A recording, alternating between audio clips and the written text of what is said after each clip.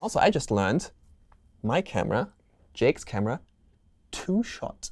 Is that, is that what that That's is? the two shot Oh, sorry. because it shoots two. Oh three.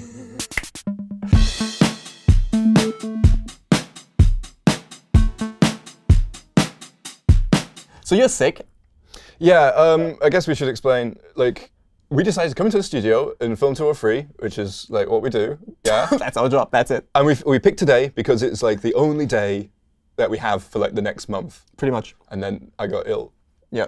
And my eyes are running, my nose is running, my ears are running. They're not actually running, but they I mean- like it's it, it's only going to get worse. So Um, basically, you're going to be moany and insufferable to listen to. Well, what I'm going to what I'm going to try and do is I'm going to do the kind of forced talking thing that I used to do as a teenager when I got home drunk and I didn't want my parents to know I was drunk. And they know. and sort of over yeah, oh yeah, they always they knew, knew, right? Yeah. But this is me pretending not to be ill. So, uh, the, but there might be some sniffles. Um, so our editor uh, Lucas, he's going to do an amazing job of editing all of that out. Cheers, Lucas. Hashtag Thank you. No pressure. Um, So so I this is probably one of the most clickbaitiest titles I've well not even clickbait, just polarizing titles. well, the- answer is yes. Yes, it is bad. Is Reduce bad? Yes. Thank you for joining us. Bye bye. All right. I like your impression of the theme. That was that was quite good. Um, okay. So th there there is obviously a background story to why this is a topic now. Um, Yeah, But yeah. first, just to make sure everybody knows what we're talking about, we're talking about the array method. So you have an array Right. with stuff in it, and reduce is one of these array methods that you can mutate or process whatever's in it. Uh, reduce specifically, you give it an accumulator start value and the function, Yes. and then for each element, the accumulator and the element will be passed in. Whatever that function returns becomes the new accumulator value. Yep. And that just keeps going until the entire array has been processed. That can be used for a couple of things, but it can also be abused for a couple of things. Uh, many things. And you did a tweet, I did. um, which was actually triggered by another conversation that we had It- yes, on the was. side. Yeah. This was me subtweeting one of our colleagues? And I think we've talked about this before a couple times, but we basically both think most of the time what reduce is, or where reduce is used, it shouldn't actually be used. There's better ways of achieving the things where people use reduce. There's a couple of very few few cases where it actually makes sense. One of them is like if you want to look smart. yes, absolutely. Uh, but I would. I mean, I want to point out that I'm not shaming people here. Well, actually, there is one person I'm shaming, and it's myself. Because I, I definitely went through three, three phases, uh, like learning code. First one, my code is very simple, and I didn't use things like regex and array.reduce because they were scary. Agreed. And then I learned these things, and I learned all of the programming techniques of like currying, recursion, blah blah blah. And I thought, you know, my use code, them. yeah, my code should demonstrate how clever I am to everyone. So I will use all of these things, so anyone can look at any one bit of my code, and they'll go, "That guy is smart, and he knows lots of things." and then I because if the other person doesn't understand your code, you are smarter than that person. Exactly. Yeah. Yeah, yeah, and they should just get cleverer, which is Really? which was like a lot of the replies that I got to this thread. um, but I'm now like, yeah, I've been doing JavaScript for 20 years, and I'm kind of I got into this third phase, which is just like, 20. yeah, You're that I'm, old. I'm quite old. um, I look particularly old today with the illness. Um, but I, I feel like I'm now in the third phase of my coding experience, which is like I want my code to look like the code in a beginner's book. Like I want it to be that straightforward. Yeah, I, I- definitely, over the years, I've learned to appreciate code that you can just read. And you're like, I understand what is happening. That is so invaluable when you have that in a project and you actually know where to go and fix it. Um, and so that's basically what I want to talk about. So what I did Ah. is look at some examples. And I kind of want to throw an hypothesis out here where I think when you see reduce, it will fall into one of four categories. Four. Right. Okay. The first category is it's a sum or something that is like a sum. It's some some like. Some like. I like that. The second category is it should really be just using array methods, maybe with some Yes. object entries and object from entries. And those things are some of those things are new. Like from Right. entries is particularly Yes, and we want to talk about that. Yeah. Okay. Um, but basically, sometimes I see a reduce that is just a glorified filter or map. And really, you should have been using filter and map. Yep.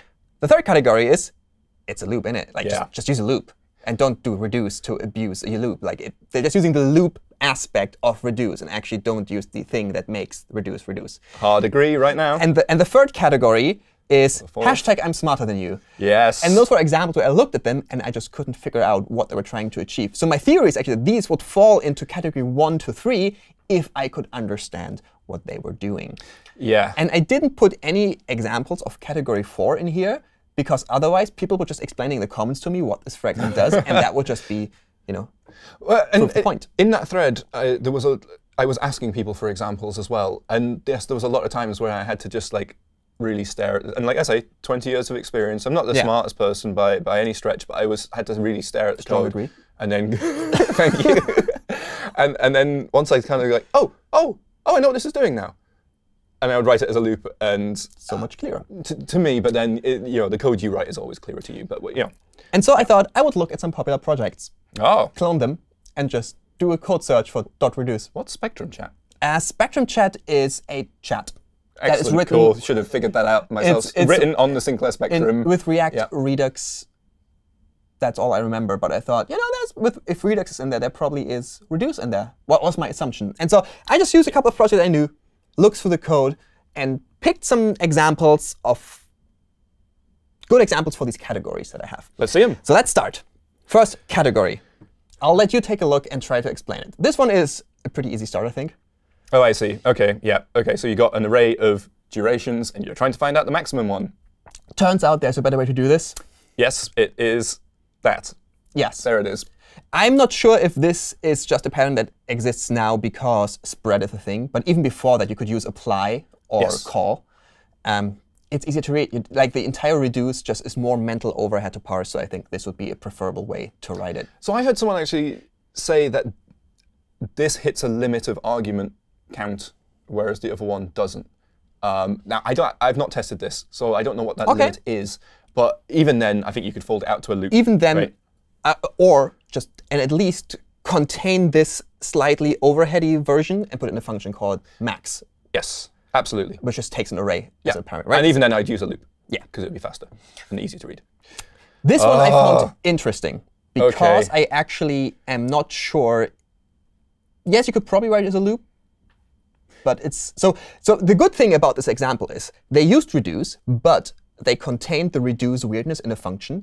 So it takes gives an array of values, and you Oh, want to basically accumulate them up for And each one is the accumulation of the And last. I see. as long as you put it in a function has a descriptive name, I actually kind of don't care how you implement it because it the functions that use this function are going to be quite easy to read.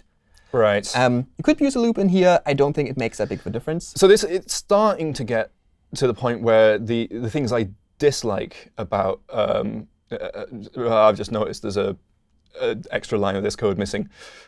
Anyway, Oh, is it? Yeah, fi- the final Oh. uh, thing. So my brain's all on fire now. Uh, it's just starting to to get to some of the stuff I don't like about um, reduce. And one of the it's a problem with a, quite a few functions in JavaScript. Is that the arguments are in the wrong order Yeah. right? Like if you've got a callback, that needs to go last, right? Or it needs to be because Yeah. because the, the the simplest code is read sequentially. True. Or I oh, like a, a loop is fine because you, you go down and then you go back. You go like, but it's still sort of sequentially. Whereas here, to even start to understand this, you have to go At the to end. the end of the thing and then read back from there. And yeah, and also this is this is creating a lot of arrays as well. I mean, I know you didn't. You're not wanting to talk about performance. oh yeah, that's actually something I think I didn't mention. I didn't want to talk about performance because I feel like the first order that you look when you look at code should be readability. Absolutely. Performance should be a second priority most of the time because. And that's only because we have reached a point where the community looks at performance first to the point where they have, have reached the point of return of investment is just not there anymore. They optimize things that don't need optimizing at all. And some people Yeah. sacrifice readability in favor of performance for performance that they don't need. Right, but this is doing this is sacrificing readability and performance. Like, Potentially, yes. uh, yeah. I may okay. mostly put this in because I wanted to show that if you put it in a function that has a good name, you can get away with more, in my opinion. I absolutely agree with that as well. Um, and even then, actually, I, I would then take the opportunity to just put, make Sure, a loop. but then you have it then- well contained. You can write Yeah. tests. You can do the refactoring in one place. A lot of people don't like mutations Yeah. in code, But if you're limiting it just to one function, it's OK. Yeah, I would agree. Definitely.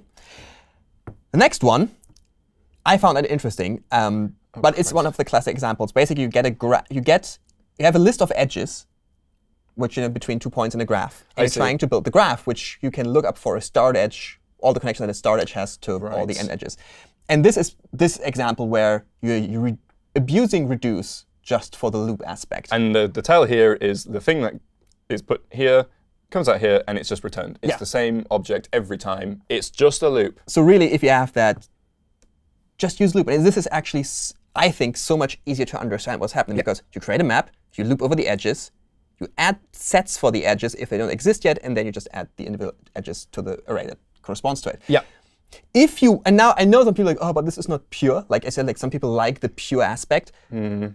But the pure version is just not as readable. I tried to write one, and it, like, yes, it is potentially understandable, Oh, I but I don't think that is worth for purity's sake. Yeah, I, Especially because JavaScript to me is still not a functional programming language. You can write functional code in JavaScript, but it's not functional programming by nature or by design. Yeah, so like readability is tangible. It's subjective, but it's tangible. Like Yeah. you can look at two things and go, "That's the one I prefer."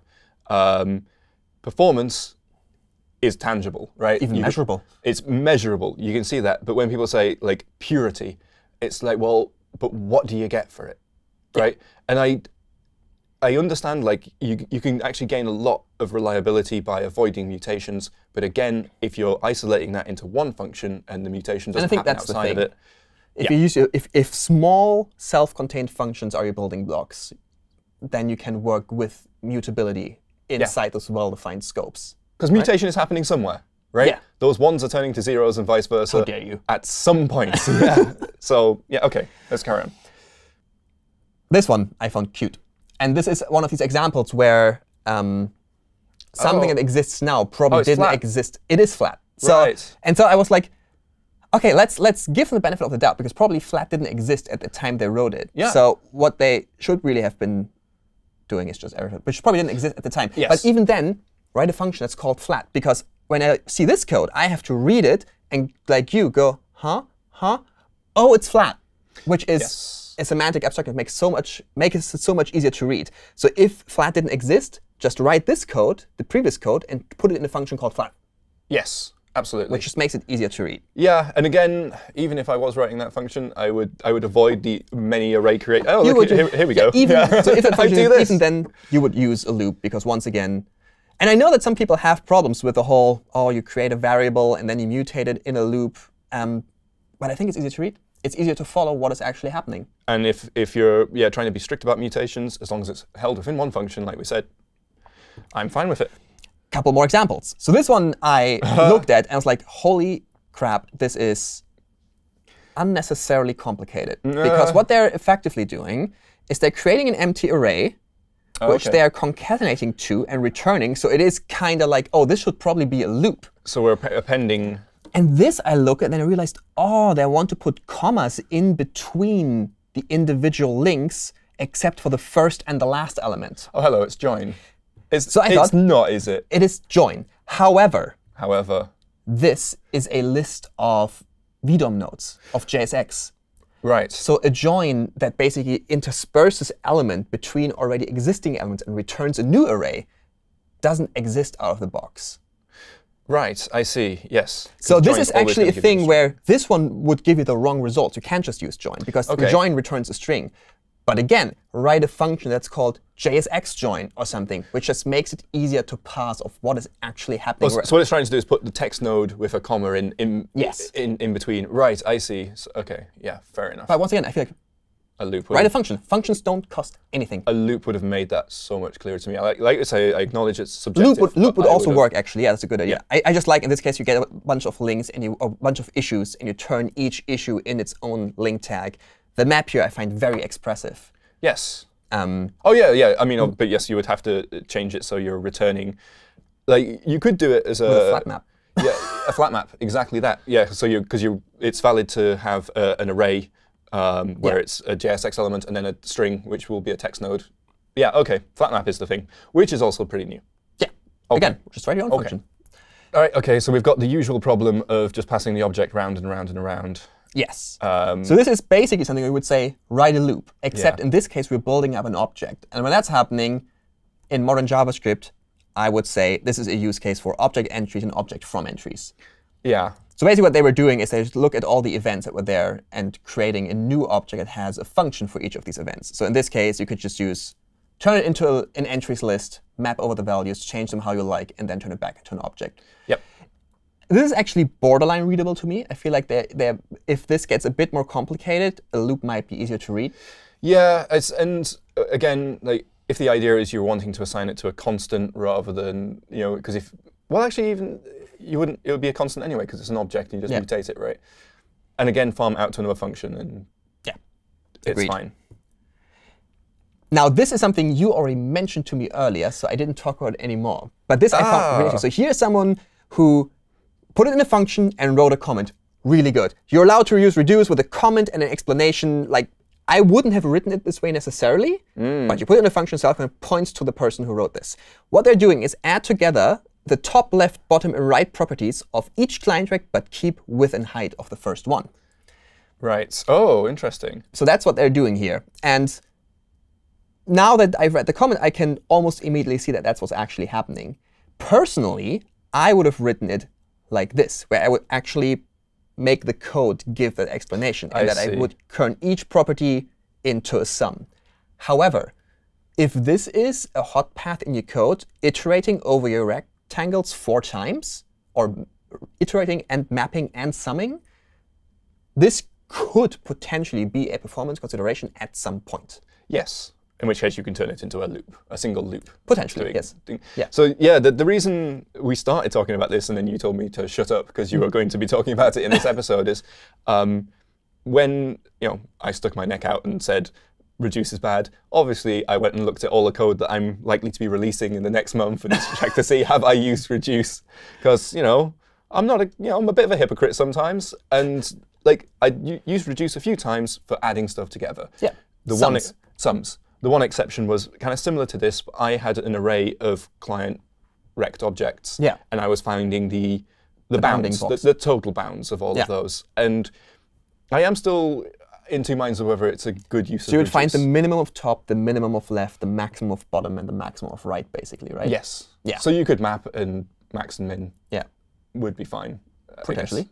More, more expressive, but you know, I, I, as I said, this was put in a function, so I'm Yeah. less inclined to actually get annoyed by it. I really just dislike when there's like a reduce in the middle of a bigger function, and then I have to stare and figure out what is the semantic equivalent of that reduce. Yes, and it's, that's probably the any tricks you do if you can isolate those into a, a single function. Because sometimes tricks make the code really fast, uh, or if you are chasing file size, which you probably shouldn't be, but if you are, um, yeah, putting that stuff into another function, uh, even if it's only used once, a good uh, minifier will be able to inline that. Yeah. And so you get the benefits of documentation and readability, um, and you still get to use your trick in it. Yeah. Exactly. Do I have more? I think I have some more.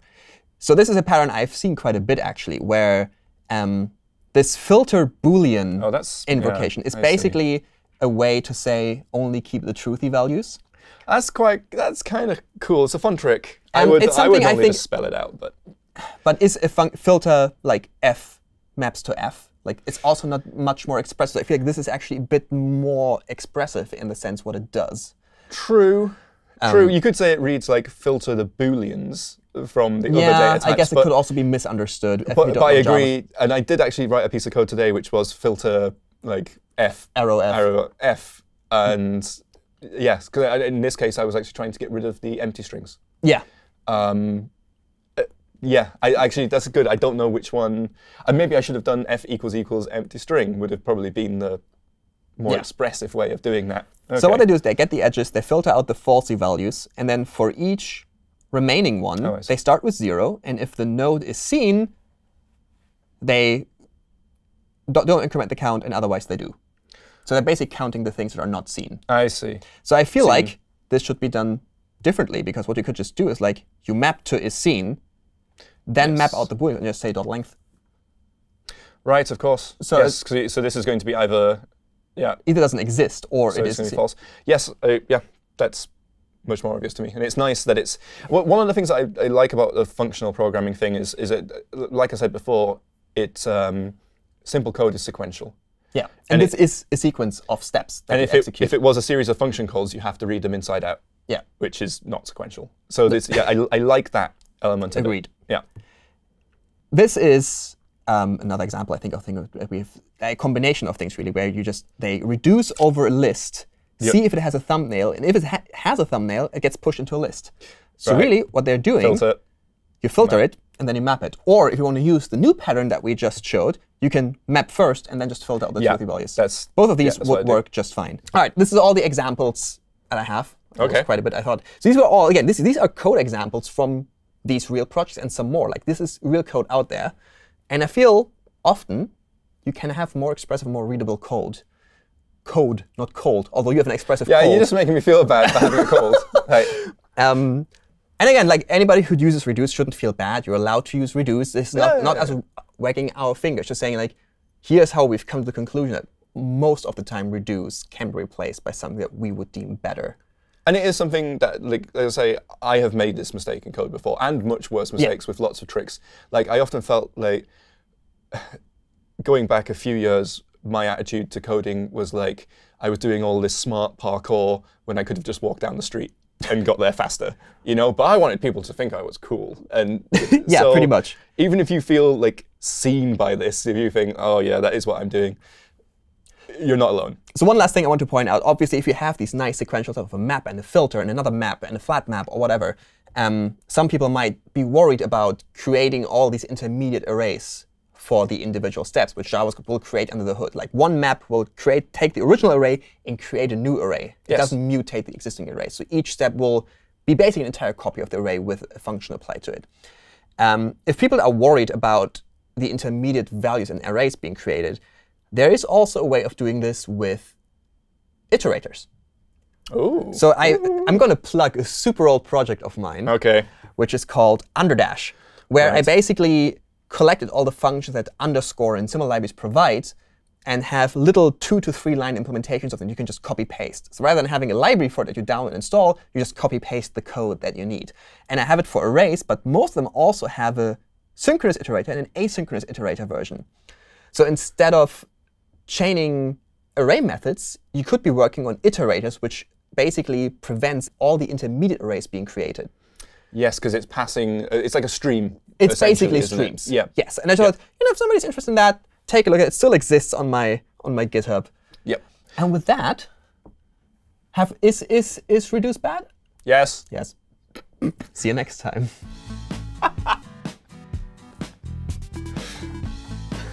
I'm gonna keep that ending. Yeah, I, like, I, go for it. Our editor, uh, Lucas, is really cool. Really cool. Really really really cool. cheers, Lucas.